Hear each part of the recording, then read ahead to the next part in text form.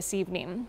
As we look at future forecast, 730, we've still got widespread snow. Even when we're back on air at 10 o'clock tonight, we're still going to be tracking at least some snow. The snow comes to an end, I would say after about 1 o'clock in the morning, maybe a few flurries overnight. But uh, by the time we start the day on Monday morning, we just have some cloud cover around.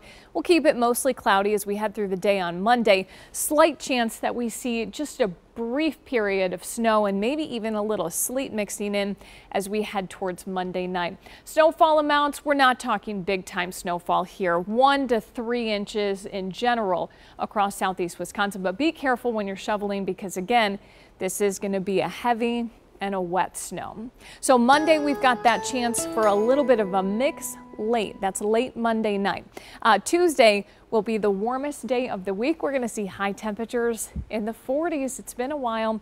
Uh, we may see some fog developing because when temperatures get that warm, we're going to see that snow starting to melt. So we'll be keeping an eye on that. Wednesday, We'll look for a little bit of a mix in the morning. It stays breezy over the next couple of days, but temperatures overall in the seven day forecast looking pretty good, much closer to average than where we've been through uh, most of the month of February.